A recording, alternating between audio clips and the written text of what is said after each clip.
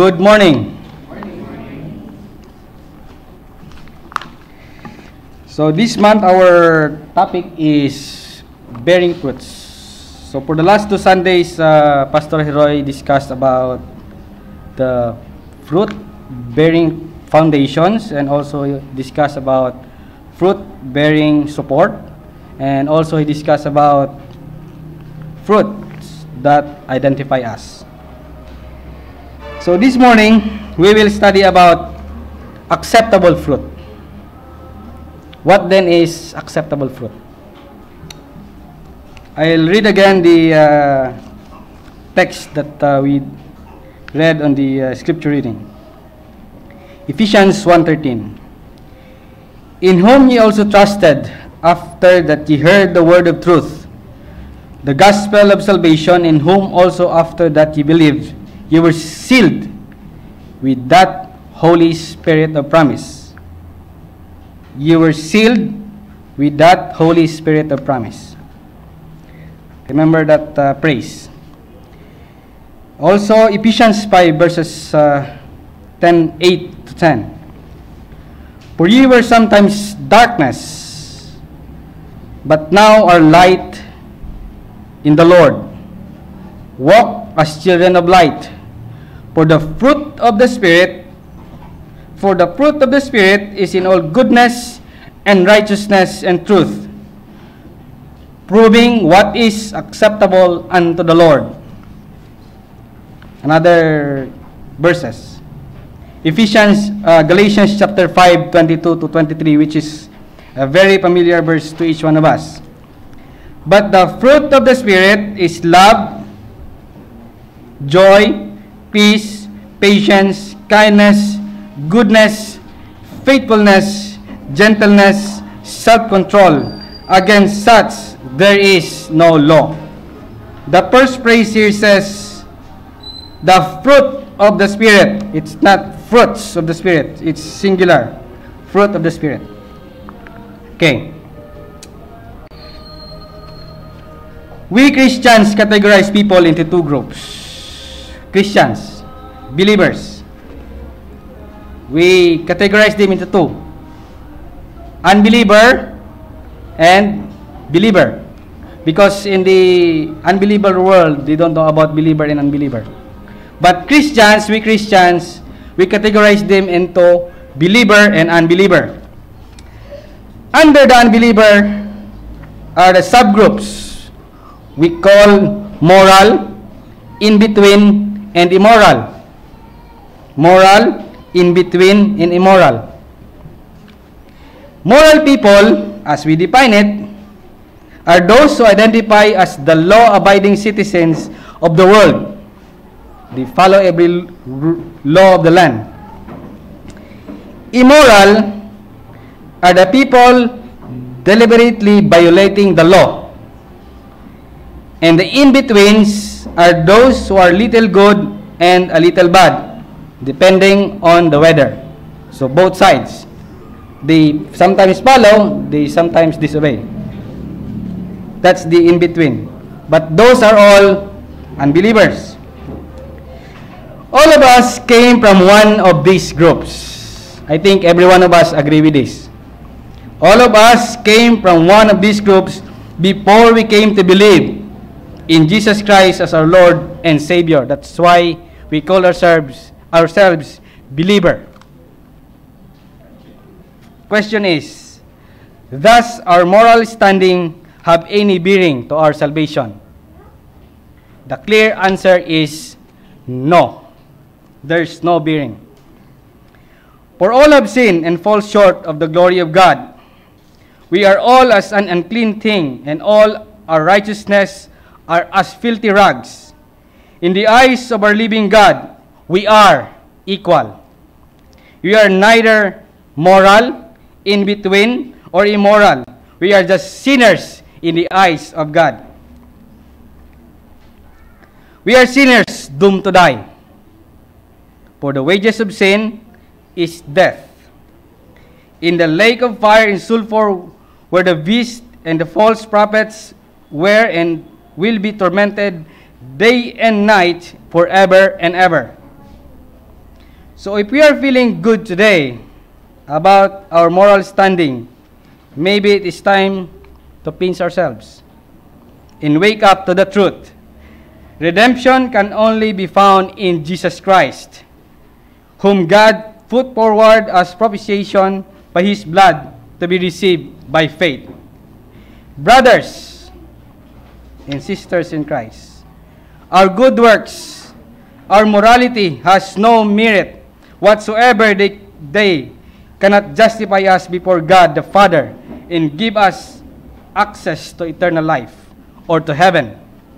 We are justified only by God's grace as a gift through the redemption that is in Christ Jesus. In Jesus alone, we have redemption through His blood, the forgiveness of our trespasses according to the riches of His grace. So, if that is very moment, you've come to realize that even your good works will only lead you to hell, I invite you to believe in the Lord Jesus and you will be saved, you and your household. Believe in Him and abide in Him that you may bear fruit because apart from Jesus, we can do, we cannot do anything. But of course, our message this morning is not for the unbelievers. Our message today is for us, believers, for us who profess to have believed in Jesus Christ and are saved, for us who are supposed to have the Holy Spirit. That's why I emphasize the praise. You were sealed with that Holy Spirit of promise. Ephesians chapter 1 verses uh, 13 to 14 we can learn that after we have heard the word of truth, the gospel of salvation, and believe in Jesus, you were sealed with the promised Holy Spirit, who is the guarantee of our inheritance.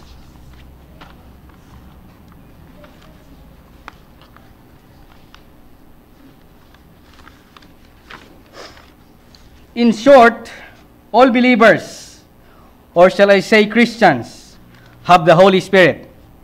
Because when we were saved, we were sealed by the Holy Spirit, meaning the Holy Spirit dwells in us. And if we have the Holy Spirit, by default, we should have the fruit because the Holy Spirit bears fruit.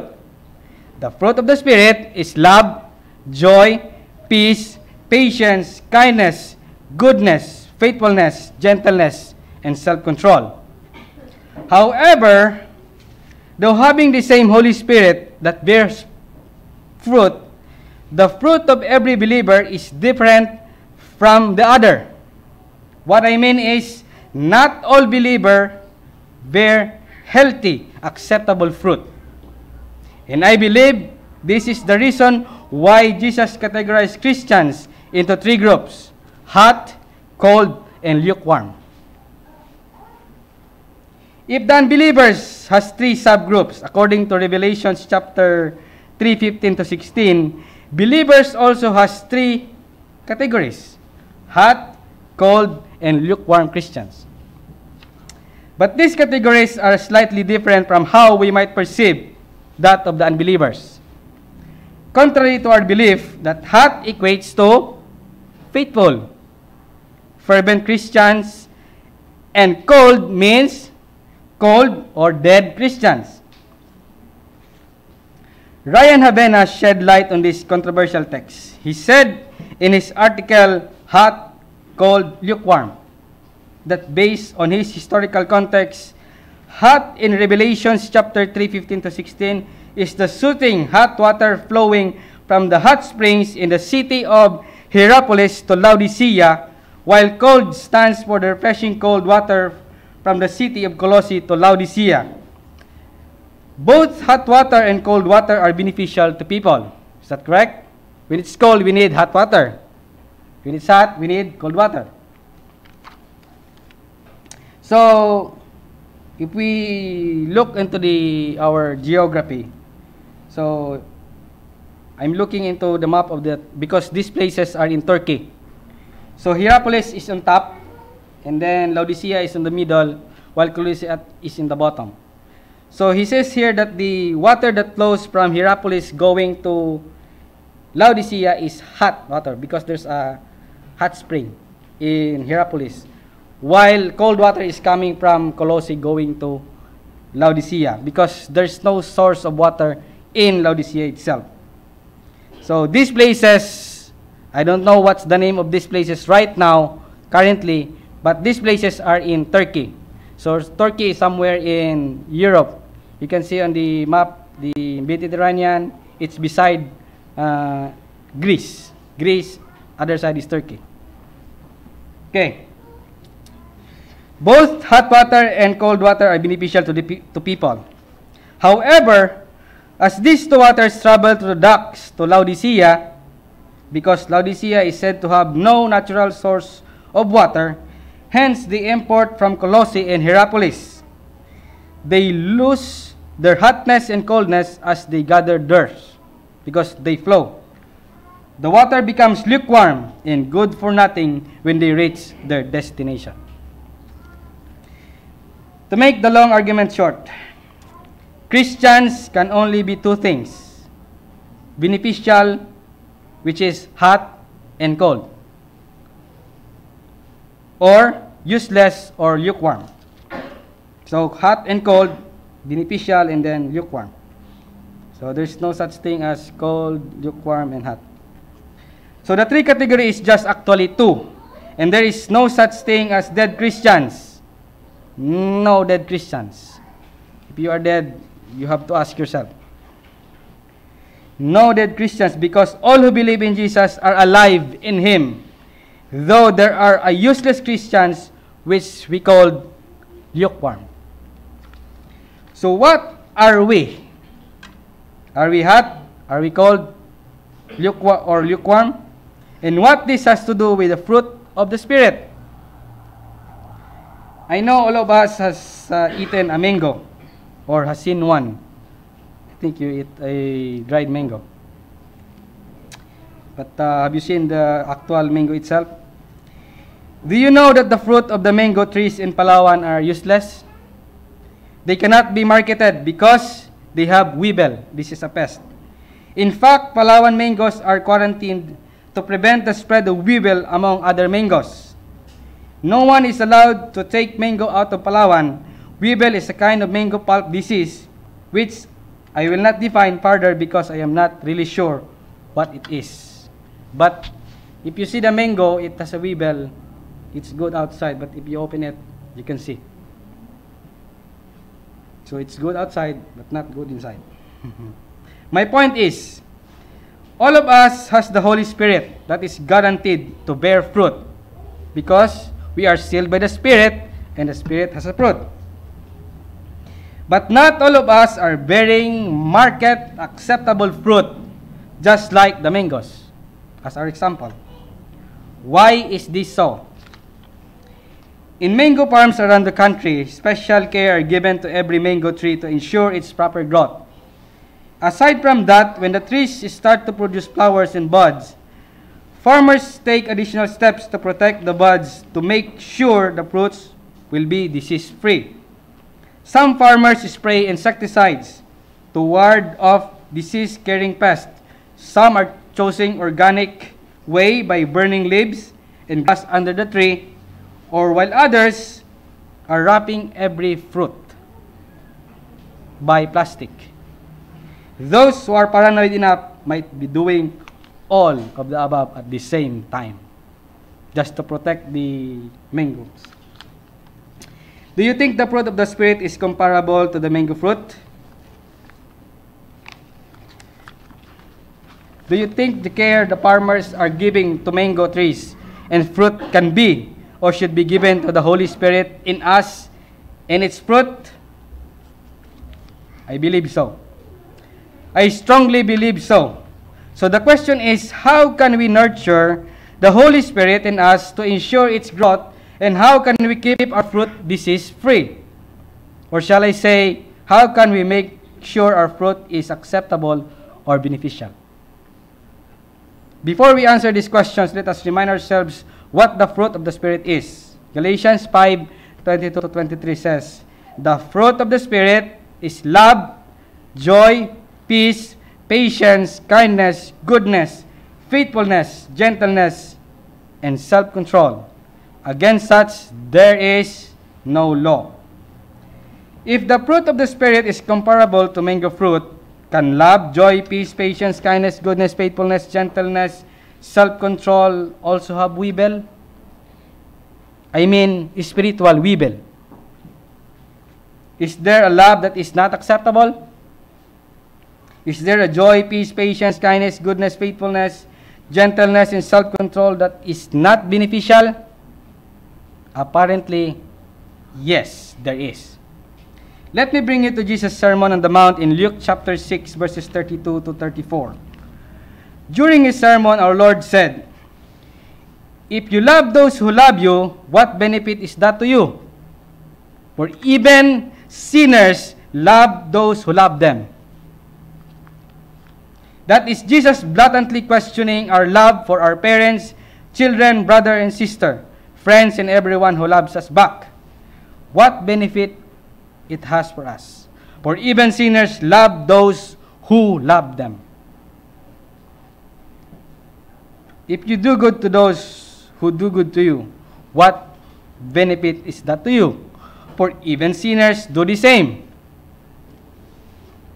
That is Jesus questioning our goodness towards those who are good to us. Are we simply reciprocating goodness and never multiplying? Because if that is the case, we are just like sinners. For even sinners do the same. And again, Jesus said, And if you lend to those from who you expect to receive, what credit is that to you? Even sinners lend to sinners to get back the same amount. That is Jesus basically telling us that this kind of love, goodness, and kindness are questionable. What benefit do they bring to us? What benefit do they bring to us? Even this love, goodness, and kindness, we are just at far with unbelievers. This is like Jesus asking us, where is the newness of life in that? Where is the newness of life in that? Because once we are saved, we are new creation. The new self created in the likeness of God in true holiness and righteousness where is it? Has the old really passed away? Or it is you still a slave to sin but just being moral?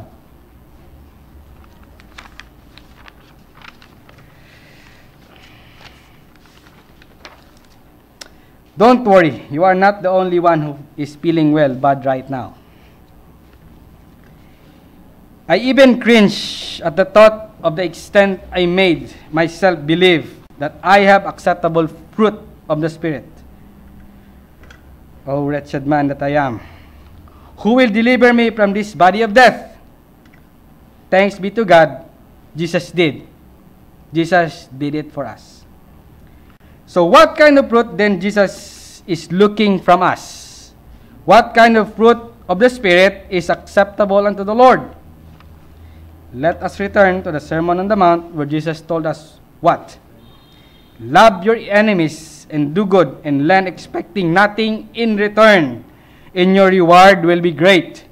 And you will be the sons of the Most High, for He is kind to the ungrateful and the evil. Be merciful even as your Father is merciful. I say to you who hear, love your enemies Do good to those who hate you. Bless those who abuse you. To one who strikes you on the cheek, offer the other also. And from one who takes away your cloak, do not withhold your tunic either. Give to everyone who begs from you. And from one who takes away your goods, do not demand them back.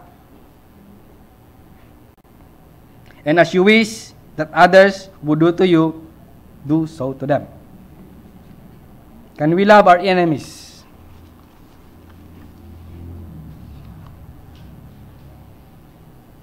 Can we do good to those who hate us? Can we bless those who abuse us?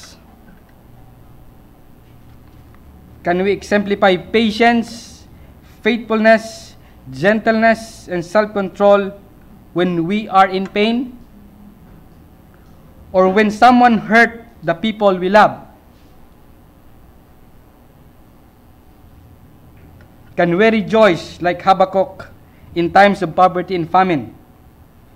Can we say with him, Though the fig tree should blossom, should not blossom, nor the fruit be on the vines, the, the produce of the olive fail, and fields yield no food. The flock be cut off from the fold, and there no herd in the stalls. Yet I will rejoice in the Lord. I will take joy in the God of my salvation. Or sing with David, You have put more joy in my heart that they have than they have when their grain and wine abound. In peace I will both lie down and sleep. For you alone, O Lord, make me dwell in safety. Can we stay faithful to our spouses after we've seen the worst of each other? Can we say with all honesty that we still love our spouse after we've seen them turn oversized from size small to large or even extra large?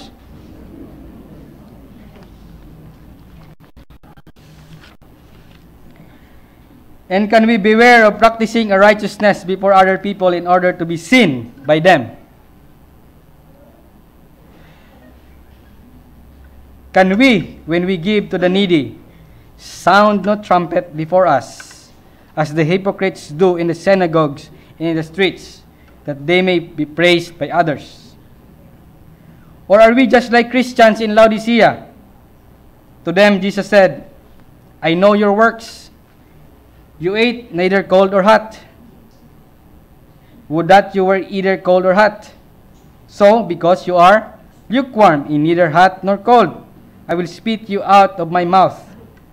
For you say, I am rich, I have prospered, I need nothing, not realizing that you are wretched, pitiable, poor, blind, and naked. I counsel to you, I counsel you to buy from the gold refined by fire, so that you may be rich, and white garments, so that you may be clothed yourselves, and the shame of your nakedness may not be seen, and salve to anoint your eyes, that you may see. Those who I love, I reprove and discipline. So be zealous and repent. I believe none of us wants to remain like a Christians in Laodicea. I believe that the Holy Spirit within us all is interceding for us with groans too deep, too deep for words. Because he intercedes for the saints according to the will of God. So going, going back to the question a while ago, how can we nurture the Holy Spirit in us? How can we keep our fruit disease free? How can we make sure our fruit is acceptable or beneficial? The Bible has a lot to say about this. But I only took a few because we cannot read the entire Bible in 45 minutes. We need to read the Bible even years or months. Okay. This is how we can nurture the Holy Spirit within us. Number one, let us heed Jesus' call for repentance in Revelation chapter 3 verse 19. Let us be zealous and repent. Repent means forgiveness, asking forgiveness, and turning away from sin to God. Turning away from sin and turning to God. Not a 360 turn, but only 180 degree. Because if that is 360 degree turn, you will just return, right? In your position. Let us relieve ourselves from sin. So that's number one. call for repentance. Let us repent. Number two, let us not, let us not quench the Holy Spirit. What then is quenching the Holy Spirit?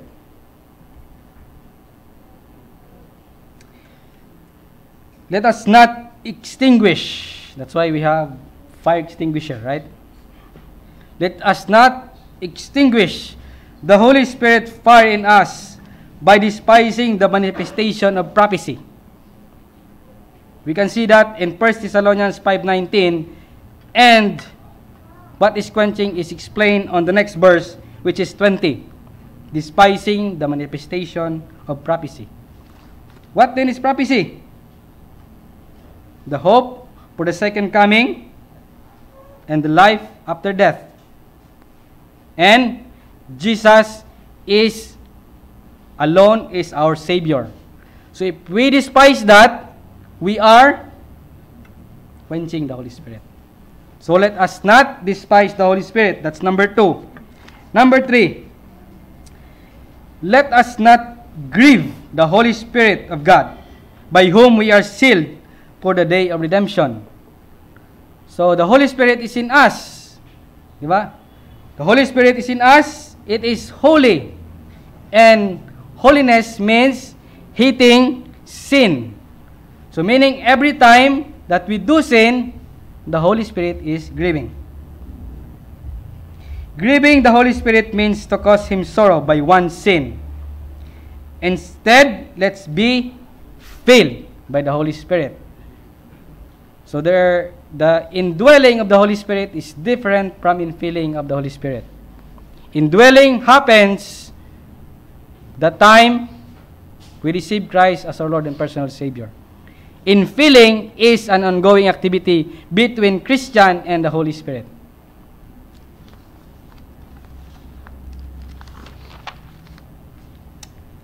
Number four,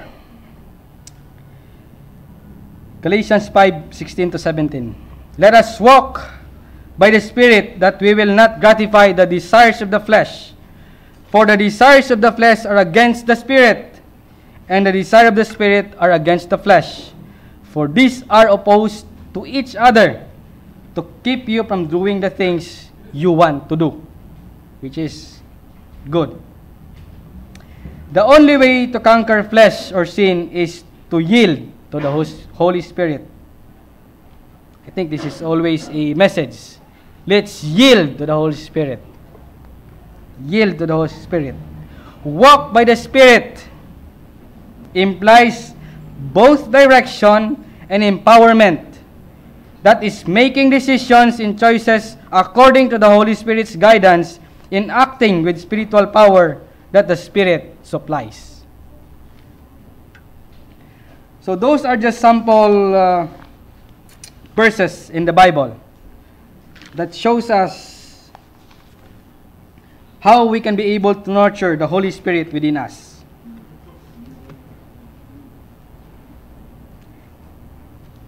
And this is how we can ensure that the fruit of our spirit is acceptable unto the Lord. These are the verses that says that our that the fruit of our spirit is acceptable unto the Lord. Number one, let us guard our way according to the word of God. Psalms 119 verse 9 says, By guarding it, how can, how can a young man keep his way pure? The answer is by guarding it according to your word. We need to study.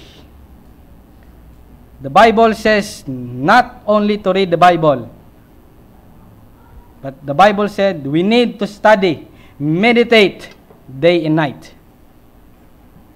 And of course, not only study, we need to apply the lessons we are getting from the scriptures. Since it is given by inspiration of God and is profitable for doctrine, for reproof, for correction, for instruction in righteousness, that the man of God may be perfect, thoroughly furnished unto all good works. Number two,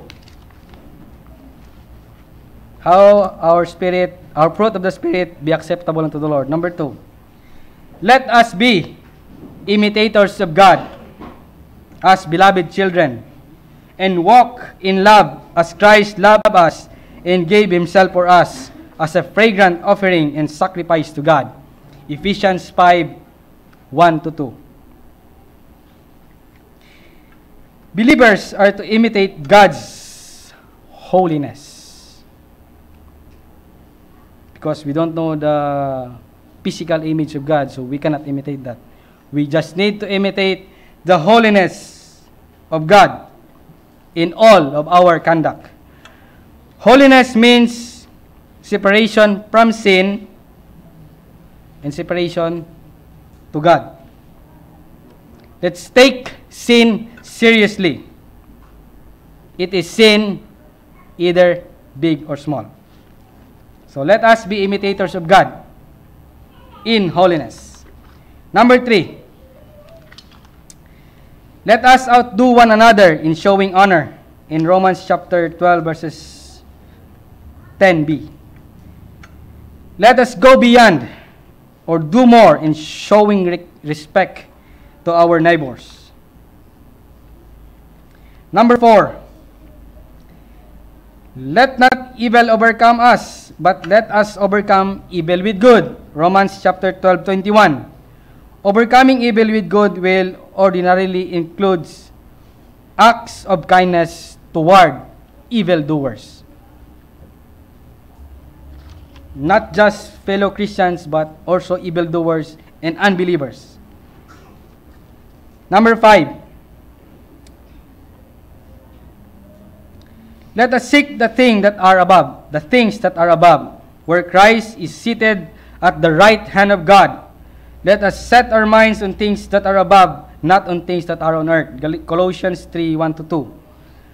Set your mind on things that are above refers to pursuing deeper knowledge of Christ Himself in all that belongs to the living with and for Him.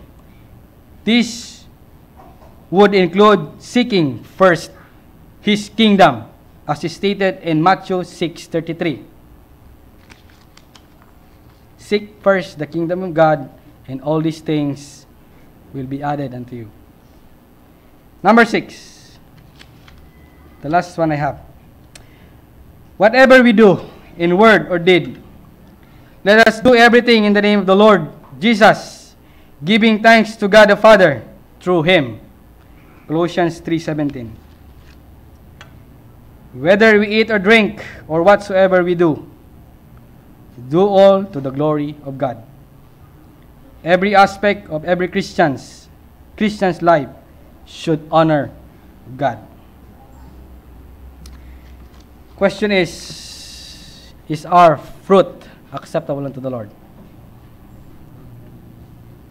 So let us ask ourselves about this. Only each one of us can answer for ourselves. No other. It is between us, ourselves, and God. With this, I pray that each one's fruit of the Spirit, the love, joy, peace, patience, kindness, goodness, faithfulness, gentleness, and self control, will be for all goodness and righteousness and truth and are acceptable to the Lord. May the Holy Spirit indwells, which indwells and seals us of salvation, will fill us and be on fire in us, so we will be walking as children of light. Let us pray. Our Father in heaven, thank you for this topic that uh, we have just discussed, Father. Help us, Lord, to uh, open the eyes of our hearts, Father. Open our minds, Father, on this. We know we already have the Holy Spirit, but help us that this Holy Spirit work in our life so that everything, every service that we have will be acceptable to you. Guide us, Lord, in our walk in you, Lord. Help us to walk in the light that you have commanded to us. Guide us, Lord, in Jesus' name we pray. Amen.